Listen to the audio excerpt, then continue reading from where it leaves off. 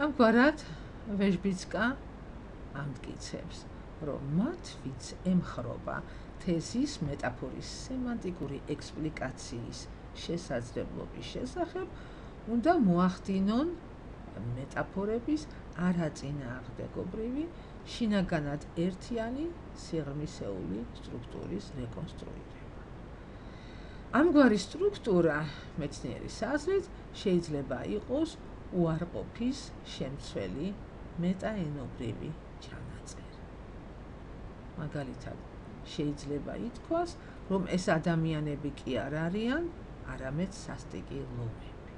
ან შეიძლება ითქვას, რომ ეს თვალები კი არა, არამედ ცეცხლი.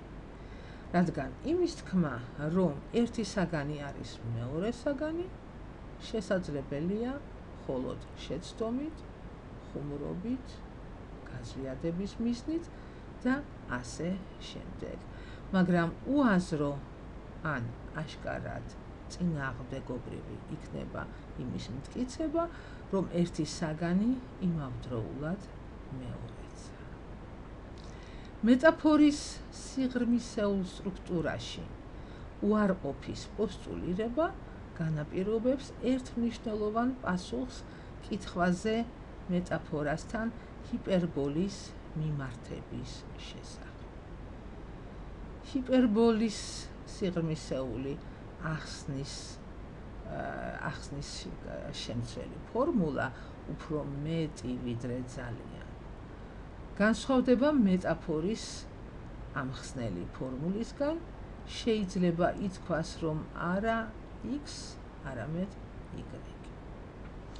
აშკარაა, რომ ეს არის მონათესავე სტრუქტურები. თანაც ჰიპერბოლა მეტაფორასთან უფრო ახლოა, პარადოქსულად ამტკიცებს ვეჟბიცკა, თუმცა მას ალბათ ვერ შევედავებით, იმდენად არგუმენტირებულია მისი მოსაზრებები. ესე იგი ჰიპერბოლა მეტაფორასთან უფრო ახლოა, ვიდრე შედარება. იმ მტკიცებითი და არა პოტენციური კილოს გამო, რომელიც მოსდევს ელემენტს, შეიძლება ითქვას ამ ელემენტს შედარების სიღრმისეულ სტრუქტურაში. სამაგიეროდ ჰიპერბოლასა და შედარებას აკავშირებს მეტაფორისთვის დამახასიათებელი იმპლიციტური უარყოფის არარსებობა. საკითხი მეტაფორაში იმპლიციტური უარყოფის შესახებ წარმოადგენს ენობრივი ელიფსისის ზოგადი პრობლემის მხოლოდ ერთ ასპექტს. ელიფსისის პრობლემა ძალზე მნიშვნელოვანია. სემანტიკური ინტერპრეტაცია შესაძლებელია მხოლოდ მაშინ, როდესაც საქმე გვაქვს სრულ ტექსტებთან.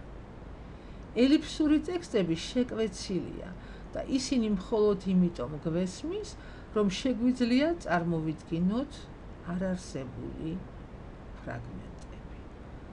ამიტომ მანამ სანამ შევუდგებით ტექსტების გრამატიკულ ან სემანტიკურ ანალიზს აუცილებელია იმ პროცედურის განხორციელება, რომელსაც კატალის, ესე იგი, ემპირიული ტექსტების შევსებას უწოდებენ. თუ ტექსში მოცემული არაა მისი სრული ვარიანტის რეკონსტრუირებისთვის საჭირო მითითებები, მაშინ ანალის ბოლომდე ვერ მივიყვანთ. ეს ზოგადი მეთოდოლოგიური პრინციპი შეიძლება გამოვიყენოთ მეტაფორების სემანტიკური ინტერპრეტაციისთვის.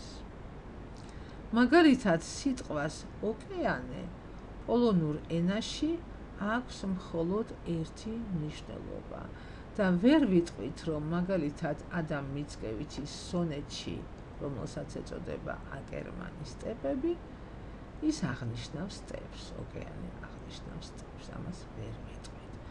ოკეანე ყოველთვის აღნიშნავს ოკეანეს და არასოდეს აღნიშნავს სტეპს.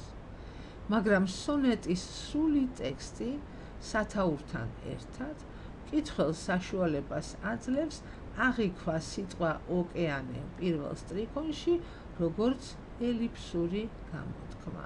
და შეავსოს ის იმგვარად, რომ მიიღოს გამოთქმა სტეპის ოკეანე. ხოლო გამოთქმა სტეპის ოკეანე ბეჟბიცკა ამგვარად განმარტავს. შეიძლება ითქვას, რომ ეს სტეპი კი არ არის, არამედ ოკეანე.